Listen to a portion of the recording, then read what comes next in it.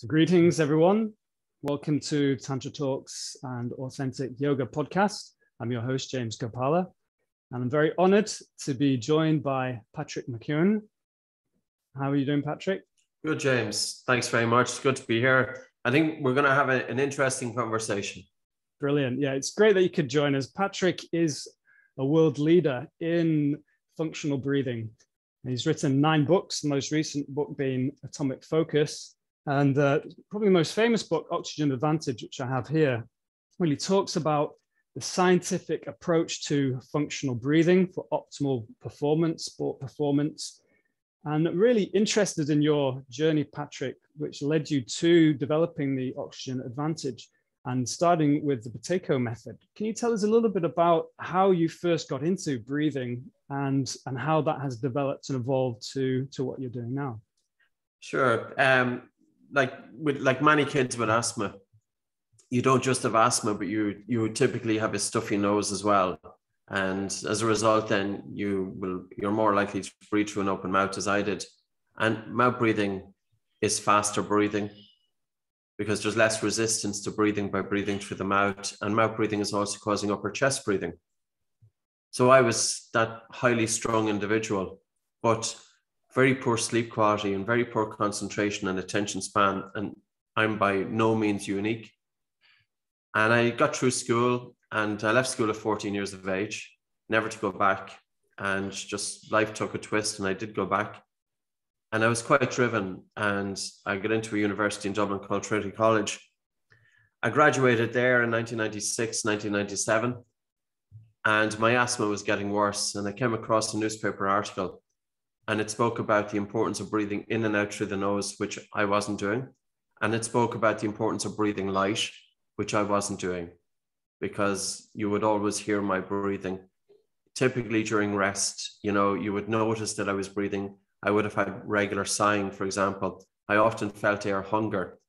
And I took that article on board, and it was just something that just caught me, you know. And like I've read many articles, but a piece of information like that, that just, it got me. And I started doing the nose unblocking exercise and I was able to decongest my nose. And that night I taped my mouth closed.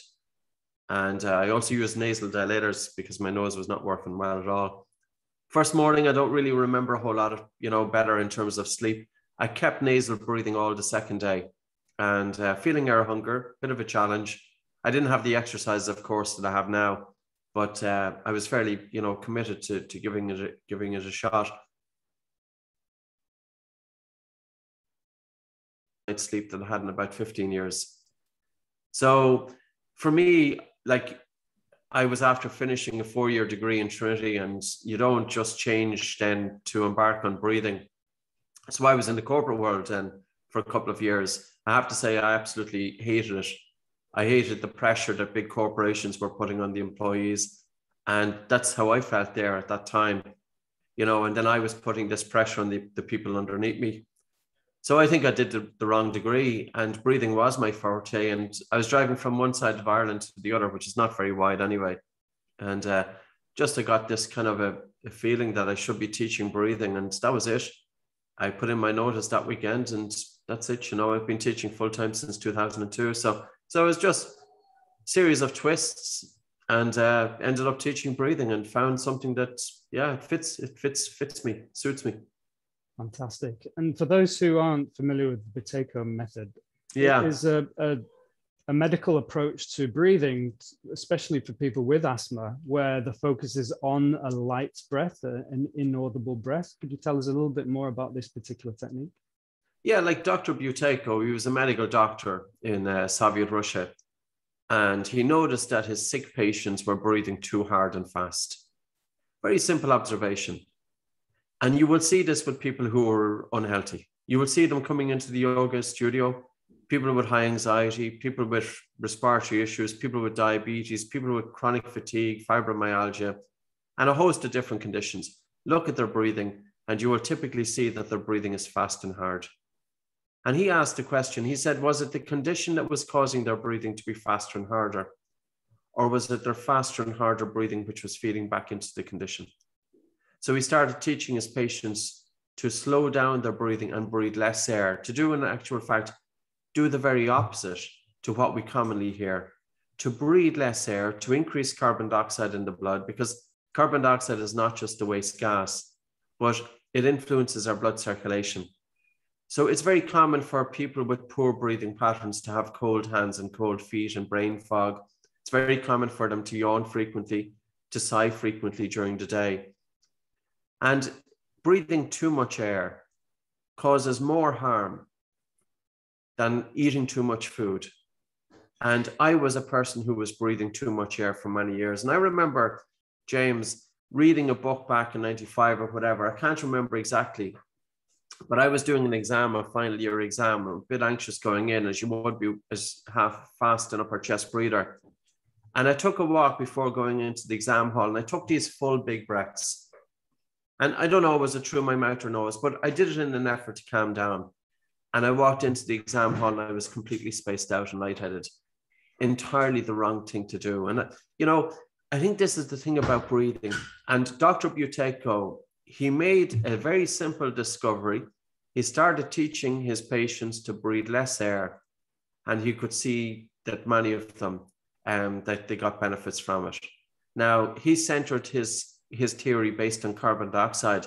We now know that probably the Buteyko method is more likely to be helping to strengthen the baroreflex, which is a very important part of the autonomic nervous system, baroreceptors in the major blood vessels, and to bring the body into balance, sympathovagal balance, to increase heart rate variability and vagal tone.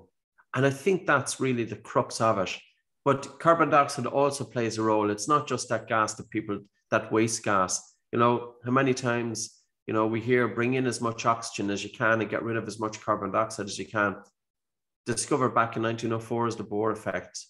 And it states that hemoglobin, which is a carrier of oxygen in the, in the blood, hemoglobin releases oxygen in the presence of carbon dioxide. So it's ironic that when we take full big breaths, we are depriving the body of oxygen and we are causing blood circulation throughout the body to constrict. So the goal is to to not overbreathe, but to make the breath as subtle as possible. Yeah, it's it's just like it's not that we need to be going throughout the day um, under breathing, but it's that we practice under breathing for periods of time during the day, and that in turn then causes our breathing to be lighter and slower. So, for example, I'll give you this you know, many people will focus on the respiratory rate, and they'll say that the optimal respiratory rate for an adult may be between 10 and 14 breaths per minute, with the upper limit of 16. You cannot slow down the respiratory rate by focusing on the respiratory rate. But if you breathe less air, and if you, in turn, you reduce the body's response to the gas carbon dioxide, because what causes us to take every breath is carbon dioxide, not oxygen. The body breathes to get rid of excess CO2, but some people will be overly sensitive to the increase of carbon dioxide in the blood. And as a result, then their breathing is harder and faster. So the faster respiratory rate of the individual can be due to the increased chemosensitivity of the body to carbon dioxide. So we have the person breathes less air to create air hunger, breathing in and out through the nose. This in turn reduces the chemosensitivity to carbon dioxide, which in turn reduces the respiratory rate towards normal. Excellent. And in, in the yoga system, of course, we have pranayama. So prana being life force, which is very much uh, fed and charged through the breath, very much closely linked to the breath. And prana and ayama, ayama, often it's understood as the control, the restriction of prana, but actually with the A, the negative, it's ayama, it's the expansion of prana through the through the body. And so in, in the yoga tradition, we obviously have a, a full system dedicated to pranayama, which traditionally follows asana in the Eightfold Path. And in the Yoga Sutras, it's described as a method to actually balance the energy of the body to ultimately prepare us for those deeper stages of yoga, i.e., your meditation and your deep states of meditation into samadhi. And it's, um, I think, traditionally, originally, the, the yogis were true scientists. They really understood the importance of breath, the power of breath, the importance of kumbhaka, the retention of the breath, which again, if we look at the Hatha Yoga Pradipika, which is the kind of foundational text of modern Hatha Yoga, it talks about how the mind and breath are intimately interlinked, actually describes it as milk and water, how the two are, are almost one and the same. And how if you control your breath, the mind will quieten. If you quieten the mind, the breath will quieten. And it goes a step further, saying that the breath and the mind are actually the causes of vasanas, which are deep rooted karmic imprints, our desires, things that keep us in this uh, cycle of birth and, and rebirth, uh, suffering essentially through irregular breathing and a very active mind. Um, how you mentioned that what uh, Buteyko, Dr. Buteyko was seeing was that, well, the question was, are people getting ill due to irregular breathing or vice versa? And the link to anxiety, and obviously anxiety is such a, a big issue right now, mental health, that uh, many people, in fact, culture is not taught how to breathe. We're not taught how to breathe correctly. There's a, um, there's no education here. So from your from your experience, in terms of the link between the breath and the psychology, how are you? How do you? and especially your latest book, Atomic Focus. I'm guessing that you're talking a lot about how the the breath is directly influencing the mind. How do you see the link between breath and, and mind? If a person has poor sleep quality, and if they are breathing through their mouth during sleep, if they have snoring or obstructive sleep apnea, as I had, they are not going to have a calmness of the mind. If a person has dysfunctional breathing patterns, if they're breathing that bit faster and harder, maybe using the upper chest with irregular breathing, they are not going to have calmness of the mind.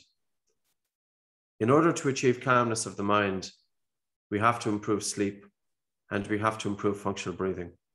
I don't think meditation is going to do it. And this is not a critique because I've I'm a huge fan of Vipassana and I've done the 10 days of noble silence on a few occasions. And of course, when you're working with the breath, you're going to have some degree of focus on the breath. But it's not just enough to focus on the breath. We have to change our breathing patterns because meditation was developed two and a half thousand years ago or 2000 years ago. And life was different then. Life is very different now. And there is a chronic stress out there. And 75% of the anxiety population have dysfunctional breathing patterns. And these people are going to various healthcare professionals. And what's being overlooked is their dysfunctional breathing. So, atomic focus was my aim at atomic focus was to bring breathing and sleep quality to address two traits that we need so vital in today's modern society. And those traits are concentration, which is our ability to hold our attention to one thing, and attention span, which is the length of time that we hold our attention on that one thing. And then focus is narrowing our attention to doing one thing. And society demands that we can concentrate but nobody teaches us how. I was in school 16 years in education. And for me to pass any grades academically, I was studying for 10 and 12 hours a day.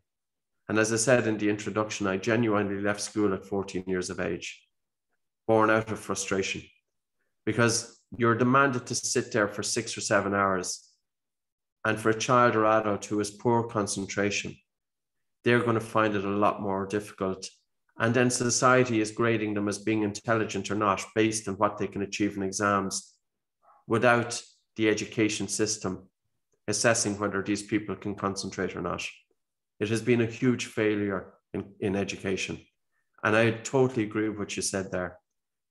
It's vitally important that education should be instilling a means that we can control our mind and that we have an insight into what's going into the, on the mind but in terms of addressing that, we have to address the basic physiology because I've seen people coming in over the years, thousands of people, James. I remember 2010 to 2013, 3,000 people attended courses here because of anxiety and panic disorder.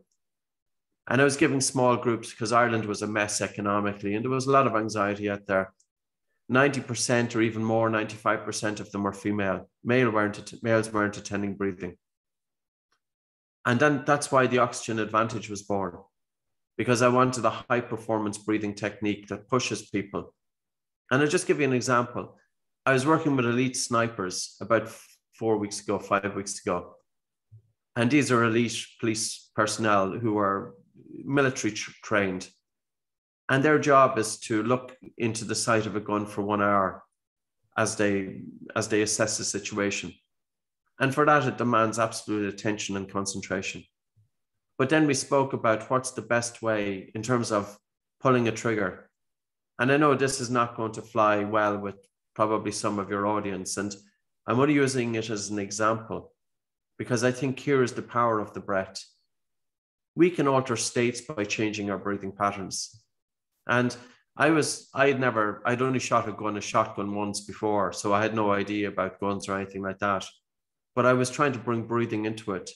And I was thinking, do you breathe in and take the shot, or do you breathe out and take the shot, or do you breathe in and take the shot as you breathe in, or do you breathe out and take the shot as you breathe out?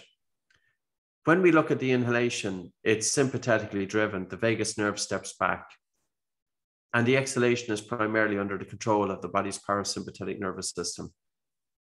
So the best place to take the shot is at the bottom of the exhalation is to breathe into the shot. Because when you have a very soft breath coming into your nose and a really relaxed and a slow, gentle breath out through the nose, the vagus nerve is stimulated. And it's this nerve that's wandering throughout the human body. It secretes the neurotransmitter acetylcholine, which causes a slowing of the heart. And when the heart rate slows down, the brain is interpreting that the body is safe. So it's very important that we can alter our states and this has the, this is the power of yoga. And it would be tremendous that if a person was going into a yoga studio with mouth breathing during the day, mouth breathing during sleep, mouth breathing during exercise, and if their breathing was a little bit faster and harder and they're feeling breathless, that the yoga instructor knows specifically what exercises to give to that person. It would transform lives because I have to say, if you have dysfunctional breathing, it's not a nice place to be. Your sleep is affected, your mind is affected, your concentration is affected. You're not good at doing physical exercise because you're overly breathless. And many people will go to yoga because they don't like going to a gym. You know, they want to do something that's very powerful for their health, but they don't want to use the physical exercise that, you know, that people resort to. But eh, breathlessness can hold people back. And the breathing of the person in the yoga studio is not is influenced by how they breathe outside of the studio. And it's very important to look at breathing not just about taking that full deep breath, but improving the biochemistry of the breath. Like my example was when I started breathing less air and deliberately breathing less air to create a feeling of air hunger my hands started to get warmer. And it's so common, you know, many of your listeners will will kind of identify with this that they have cold hands and cold feet. And they, they will have brain fog to some extent as well. And I never knew that you can improve your blood circulation at 70,000 miles of blood vessels throughout the human body. We can influence the circulation through the breath, but not by taking the full big breath, by taking subtle breathing, and I think this is coming back to original yoga because there was a two words you said there. One was constraint of the breath. Constraint. What does constraint mean? Does constraint mean that we take a slow, big, full breath? Or does constraint mean that we are holding back the breath? That we are breathing subtle? That we are breathing light? And you also stimulate the vagus nerve when you do that. And the mm. vagus nerve, by stimulating it, there's two directions that we can help to bring a balance in the autonomic nervous system. And you spoke about balance as well, because as human beings, we need to be in balance in terms of the body's rest and digest response and the body's fight or flight response. And that implies resilience. It's a very good coping mechanism for stress. And, you know, you can see this in everyday life. Like we have people who um, work here alongside us. And some people are naturally well able to stay calm and resourceful when there's a tricky situation. But other people, they fly off the handle. But when you look at the people who fly off the handle, their everyday breathing is off. And Dr. Rangan Chatterjee, um, he has a podcast. I'm sure you're, you're probably familiar with him. He was interviewing a brain surgeon about four weeks ago or so. And the brain surgeon, I quote, because I included his quotation in the book, because when I heard it, I said, bingo, this guy has it. The brain surgeon says that when I get into a tricky situation, the first thing that I do is prevent myself from hyperventilating. And people think that I'm born of nerves of steel, but it's not. He understands that when he gets into a stressful situation, the one thing that's going to change is that our breathing is going to get faster and harder. And we can have control over the breath, and especially in the exhalation. So, just as the sniper taking a soft breath in through the nose and a really relaxed and a slow, gentle breath out. Whenever we're feeling stressed throughout the day, take that very soft breath in through your nose, completely silent, and have a very relaxed and a slow, gentle breath out. And what you're doing by doing that breath is you're telling the brain that everything is okay. And the brain is going to calm because when we go into that, and I would have been that guy that was in that fight or flight, there was a situation, automatically my breathing would get faster and harder as it does for many people. But what does the brain want to do in that situation? Whenever you're breathing faster and harder, the brain is thinking that the body is under threat. And all the brain wants to do is get the body to hell out of there to protect the body. It's not a, it's not a time for logical thinking or coming up with a good solution. Because to come up with a good solution, you need to have that calmness of the mind and you need to allow the idea to to originate in between thoughts.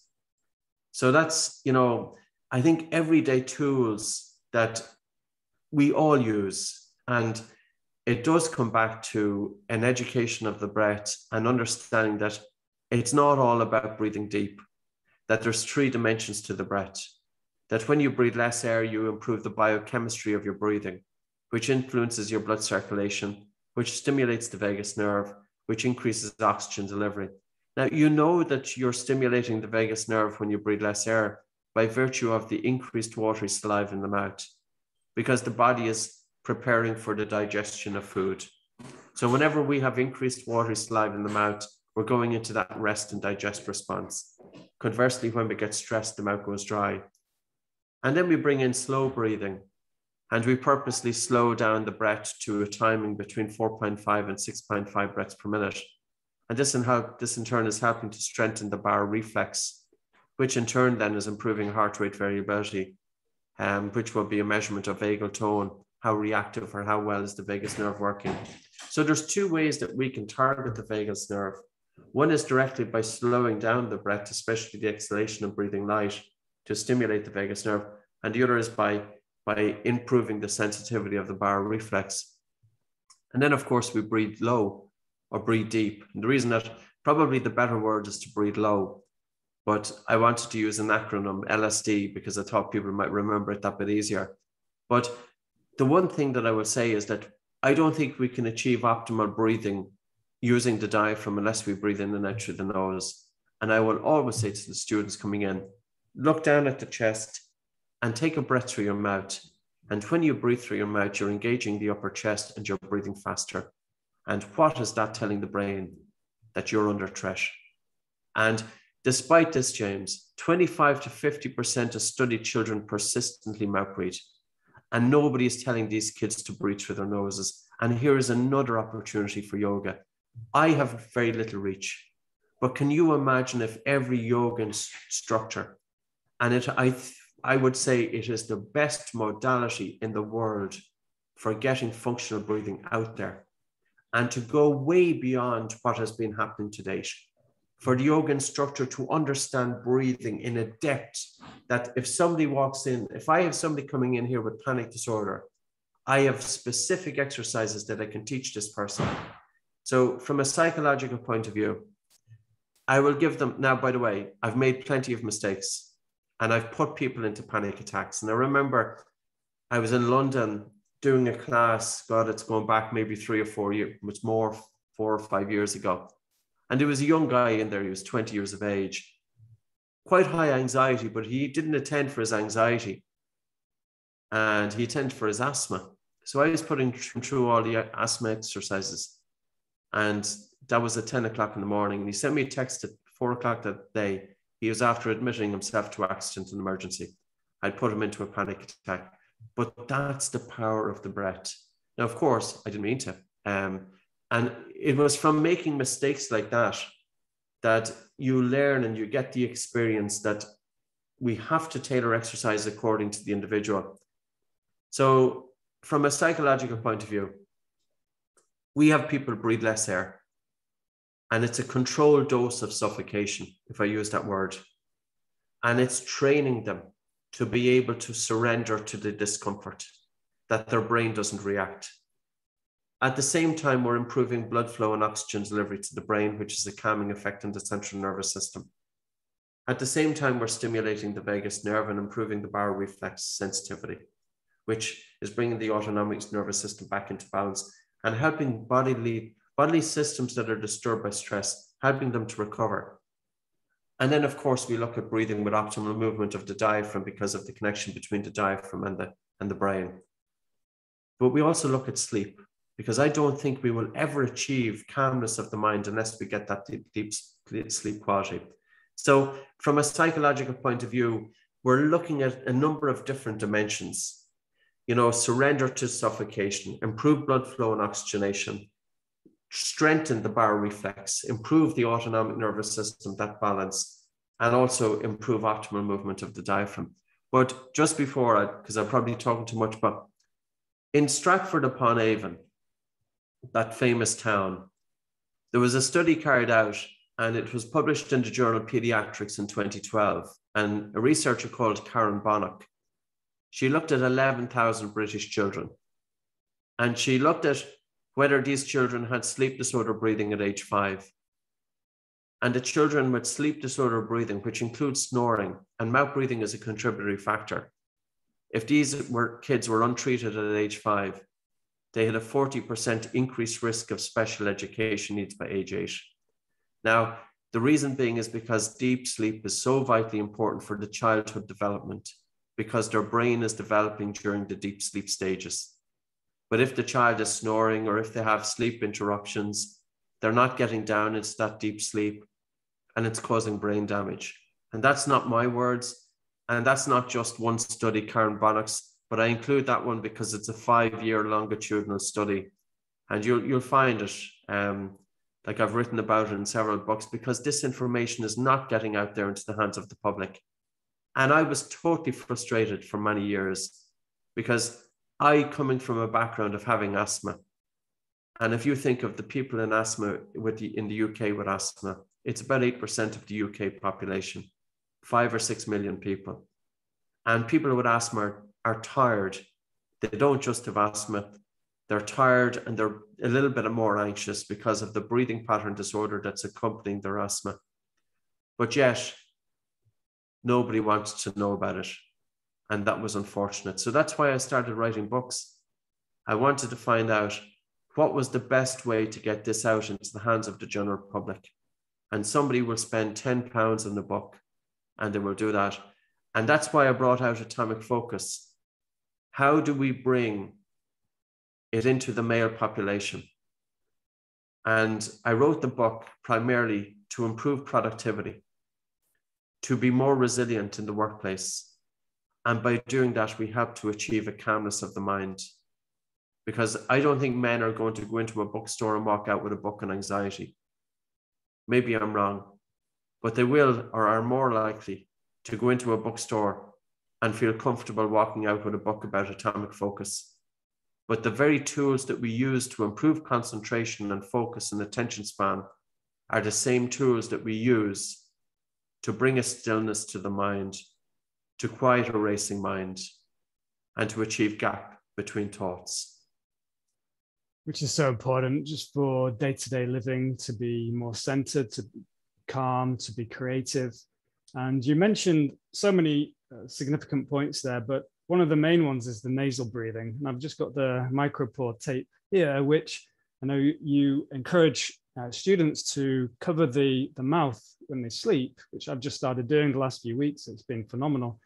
Um, covering your mouth with the tape so you are essentially forced to nasal breathe when you sleep. And, um, and that is going to instill nasal breathing not only into sleep, so we're sleeping better, we're having deeper, uh, more restful sleep, but also instilling that nasal breathing as it becomes a habit into day to day living during the day. Why is, in terms scientifically, I know we talk about nitrous oxide, the mouth is for eating, the nose is for breathing. Why is nasal breathing so important uh, for, for us?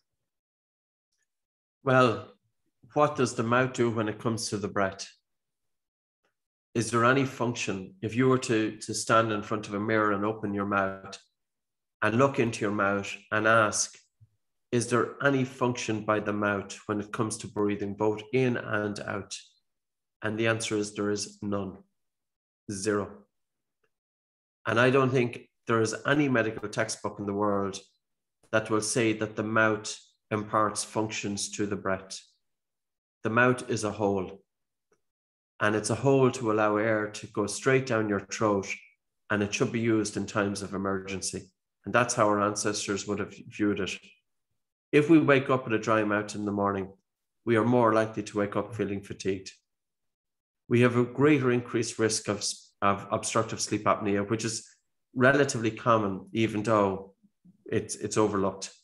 Snoring, uh, insomnia, lighter sleep. And I don't think any of us are going to have that quality of life if our sleep quality is not right. Now, we do have a different tape as well. We did use 3M micropore tape for many years, but it can scare the life out of people. And it was the only thing that was a bit off the wall of what we were doing. And then I had a problem because a lot of the kids coming in, they come in with their parents, and I can't have kids wear tape in their mouth, but I do need the children to get to nose breathing. So I'll show you this tape if it's all right. This is an idea to get the mouth closed, but it's completely safe it's my myotape, and it was developed primarily for the dental profession. And now the color has changed. We changed the color now because orange wasn't going down too well. So this is the, the tweaks that you make. But it's an elasticated cotton tape. And you get the tape and you stretch it by about 40%.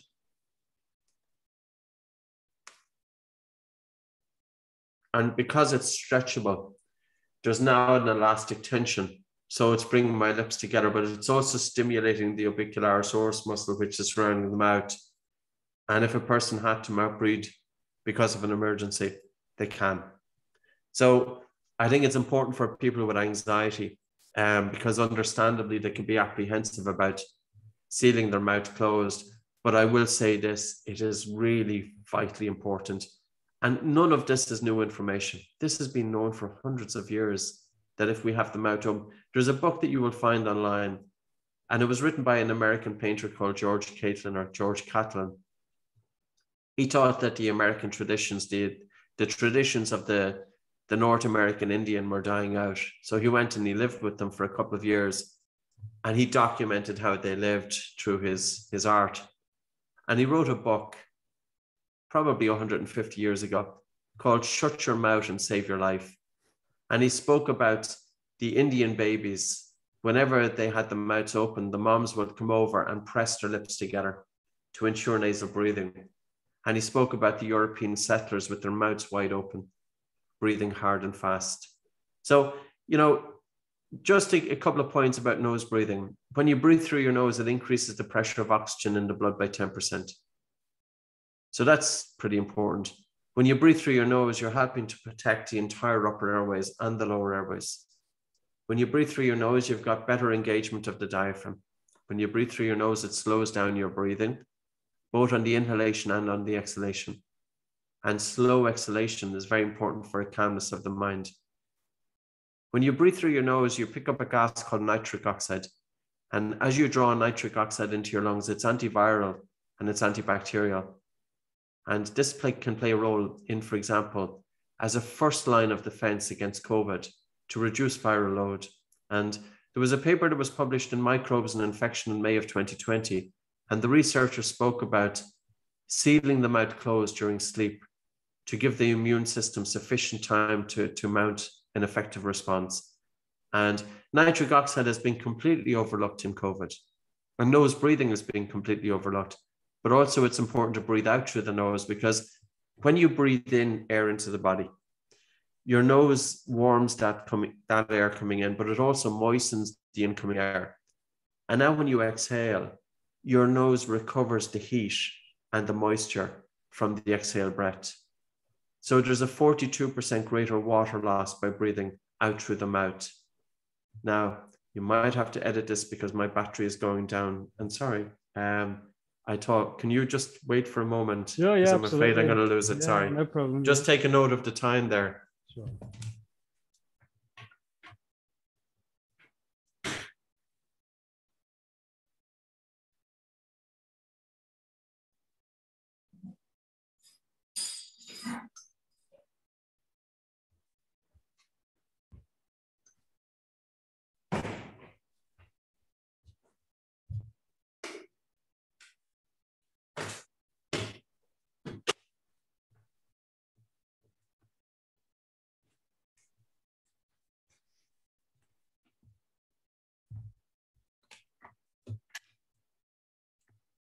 Sorry about that. Don't worry. Don't worry. No problem.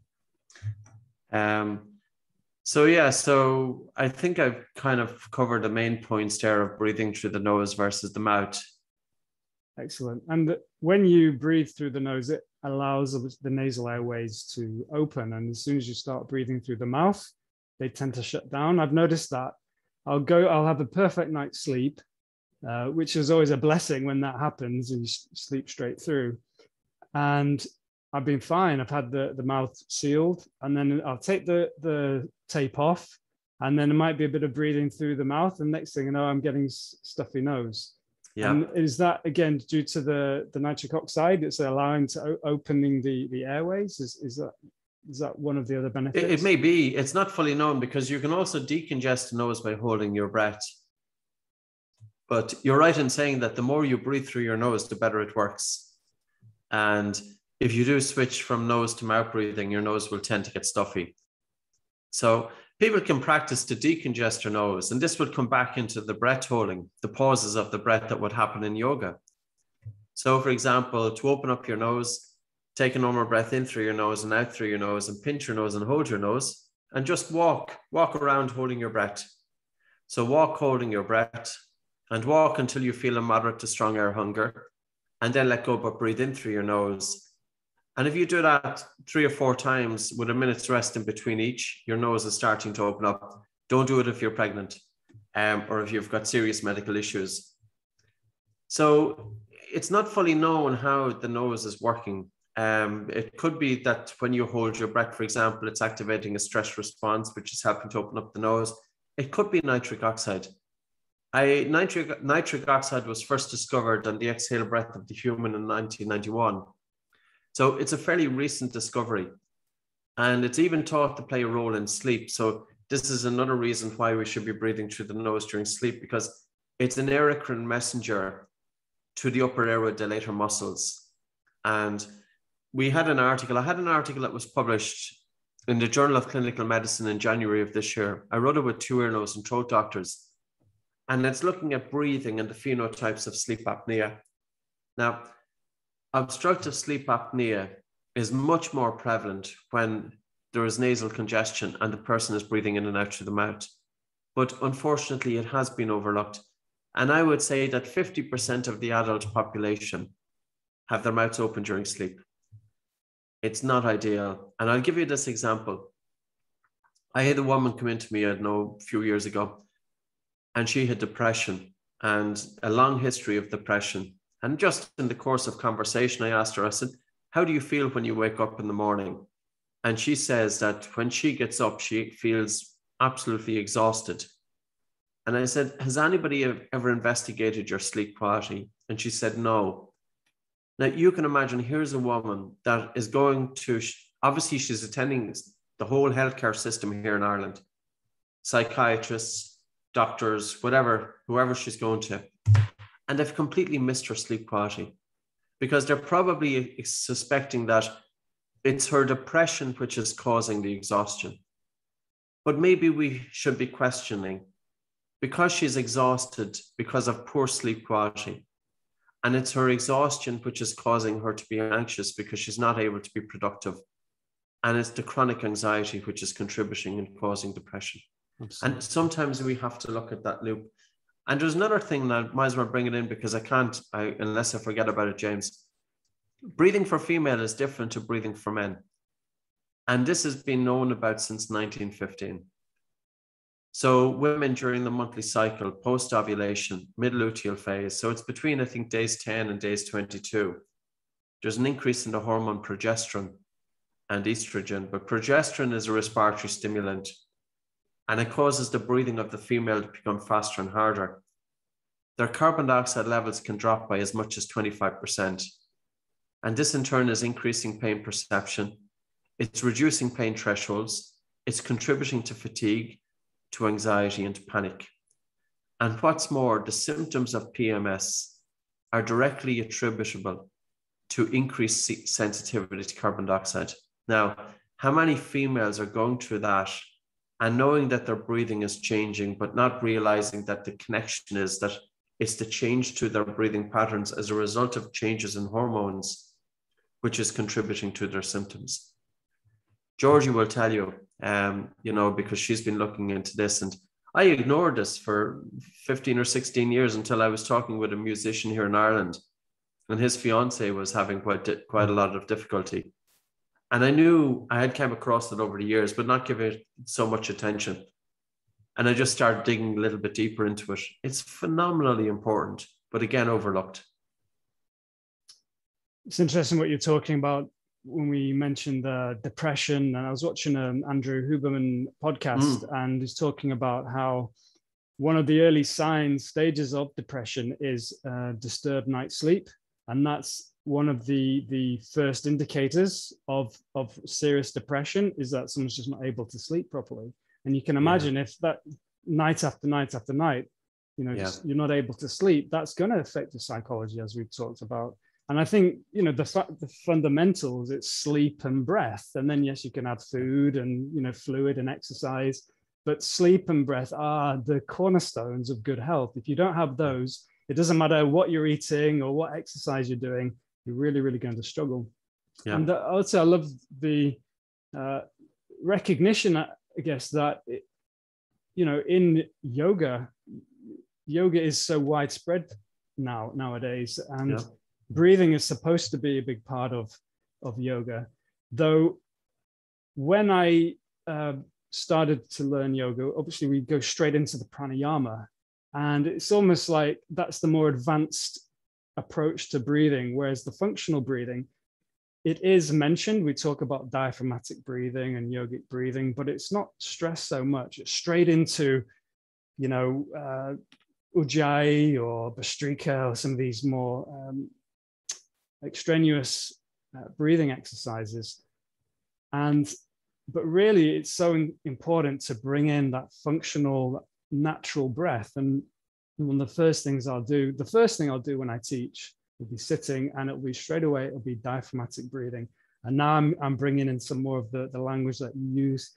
Already talk about the slow breath and the, the deep low breath, the diaphragmatic breath with the abdomen moving in and out. And I know you you talk about the importance of the lower ribs expanding and contracting, but also the, the light breath as well, and just bringing in those three principles.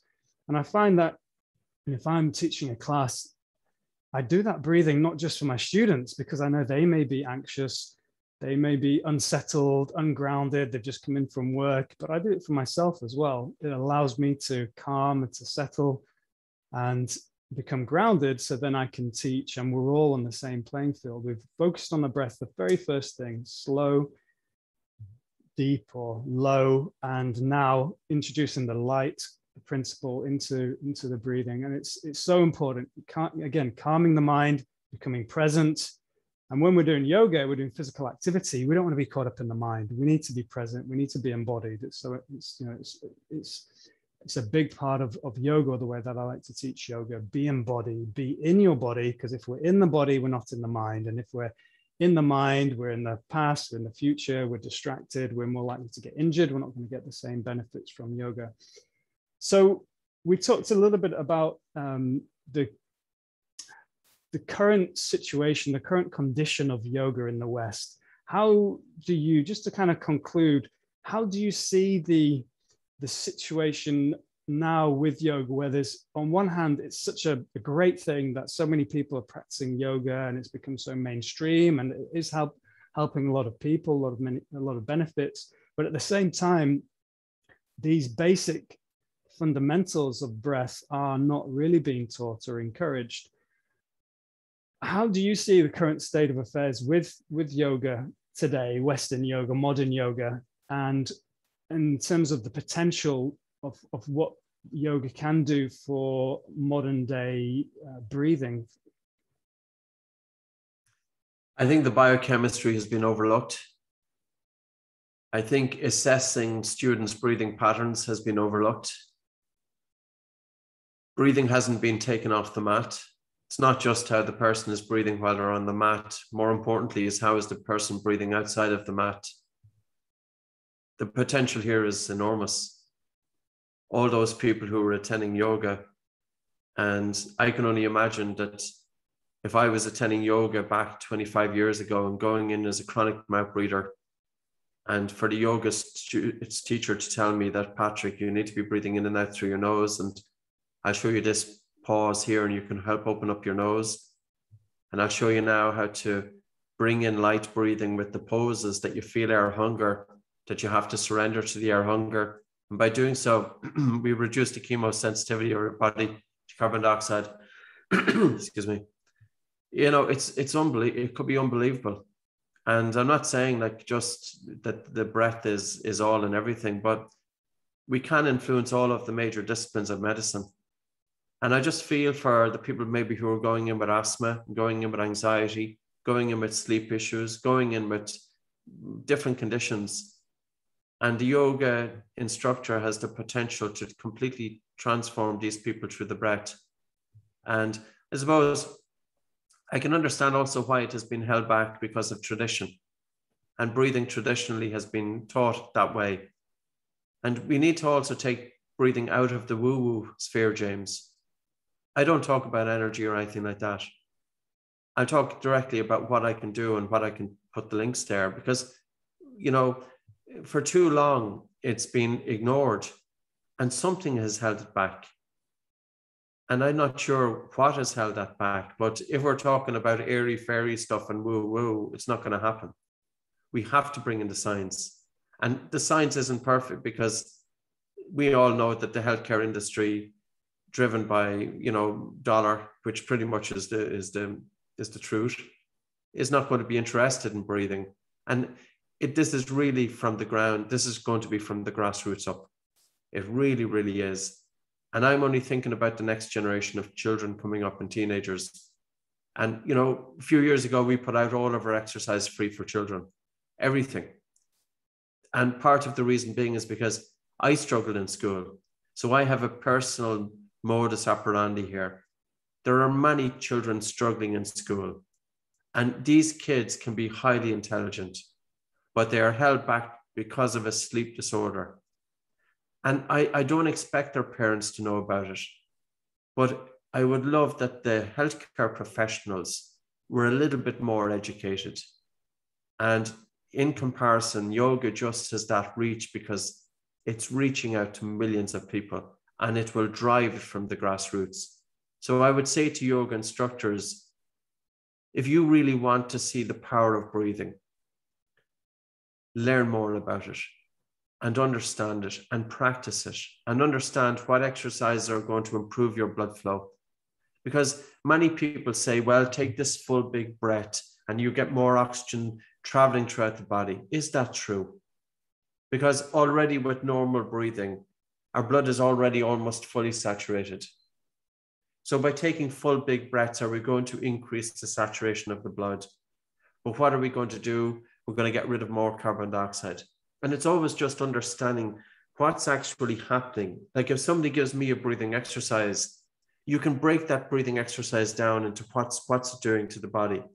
And you think of experienced yoga instructors. They can have suspension of the breath. They could be breathing in the lightest of our breath for maybe eight or 16 seconds and holding the breath for maybe 32 seconds and exhaling or whatever, whatever the ratios are. But to achieve that, you have to have functional breathing. Now, you can assess a person's breathing patterns by using their breath hold time during wakefulness.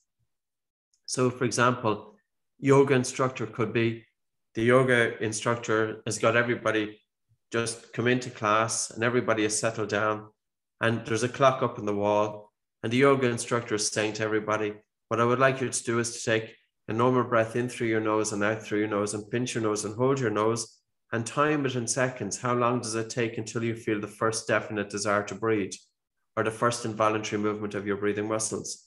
And then when you let go, your breathing should be normal. The yoga instructor will be able to assess pretty much straight away those people who are really having difficulties with their breathing. They are not going to be the experienced student.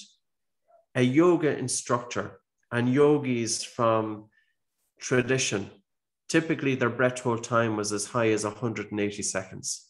180 seconds.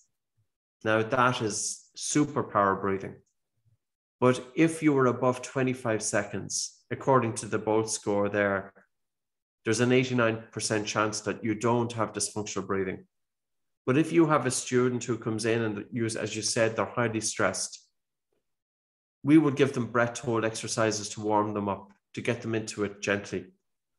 And we would also give them feedback that if your breath hold time is, say, 10, 15, 17, 18, or 20 seconds, there's a lot of there's room for improvement. Certainly, a lot more room for improvement if your breath hold time is 10 seconds versus 20. And it like it's it's I think it's simple stuff, but maybe it's not so simple, but it's it's powerful. Starting to introduce breath holds into practice, into asana, and just to develop that yeah. tolerance. Yeah. Are you familiar with the Ujjayi breath? Because when uh, Ashtangis, especially in Ashtanga yoga, they work with Ujjayi, and it's a slight, I'm sure you're aware, a closing of the throat, of the glottis there. And when you inhale through the nose, it does make a sound. So it's not a, a silent breath, but because you are sl- slightly closing the airways, you are prolonging the breath. And so it's um, very calming for the mind. It heats the breath and again, in the Ashtanga tradition, it's the, the, the breath that's used. And when I'm practicing, I, I like to work with Ujjayi because it just, it does prolong the breath and it, it feels like you can go deeper into the practice. Are you familiar with, with that style of, of breath? And have you kind of, how does that kind of um, relate to some of the principles that you're talking about? Well, I suppose with any breath, if the person is practicing Ujjayi and if they feel air hunger, you know that it's targeting the biochemistry. But if they believe that they should be taking the full big breath while constraining the throat at the same time, they could be causing overbreathing. Is the breath targeting the biochemistry? You'll know that by virtue of the air hunger. Is it targeting the biomechanics? You will know that by virtue of the movement, whether the person is breathing low. And is it resonance frequency or influencing the baroreflex? You'll know by the speed of the breath. Simple tool. Um, I would encourage people to do Ujjayi with their with, with air hunger, because that way you know that they are not going to be hyperventilating. And even stress or breathing exercise, like we would have some breathing exercise that were we are hyperventilating and very rapid breathing, you know, but it's a stressor. But we always make sure that if you stress the body and mind, because it's good to give us a little bit of a stress, and we do long breath holds, you know, some of the stuff that we do can be pretty tough. Um, but if you stress the body and mind, it's very important to recover. And there's times that a good stress, a good stress is beneficial, but you don't want that good stress becoming too much of a stress because it's it's down it's negative then. And it's tweaking this to everybody as well. You know, I'd always be careful with people coming in with panic disorder. And just because they're so sensitive to air hunger, some of them are, that they've got an overly sensitive alarm towards the feeling of suffocation. We go very gentle to desensitize their body's reaction to it. And um, yeah, and I suppose sometimes just be careful with some people. Brilliant, excellent. And I think, as you mentioned before, really, if we can get this into the schools, this is it's it's not just you know, mindfulness, the arguably yoga, but breathing, the basic stuff, just to allow emotional management, just uh, just the basic fundamentals to health and to well-being. This can be taught at an early age in the schools. This stuff should be taught in the schools. It's, oh, it's foundational, no question, you know, fundamental. Whereas we're yeah. just you know geography and you know chemistry and things that arguably we're never going to use uh, yeah you know, in the yeah, future yeah yeah and so I totally agree yeah i think it's uh, and we are seeing now yoga mindfulness getting into schools and i think i think it's just a matter of time before these things become uh, yeah. more popular and uh, the work that you're doing is is absolutely phenomenal patrick and i'm very grateful for joining um, today on this podcast. And uh, what's the best way to get in contact with you or to to maybe go through some of your courses? What's the the, the best way to find out more? Um, I've got courses. We've got small courses for different conditions on buteyko So people with panic disorder, or anxiety, people with asthma, people with sleep issues, and children's breathing, and they're fairly cheap they're 50 US dollars for two hours, and I lead the, the people through it, small groups. And we've also instructor training in Buteyko from buteykoclinic.com. And uh, our other website is oxygenadvantage.com, which is kind of more performance breathing, but we're we're kind of opening up that into the body, mind, and sport arena. And um, there's different courses on that. And then there's books as well, like The Breathing Cure, the oxygen advantage, atomic focus, and yeah, so there's different tools people can use to get get an insight into it. Brilliant. Thank you, Patrick. Thank you for, for your time, and uh, yeah, it's been great to talk. Thanks so much, James.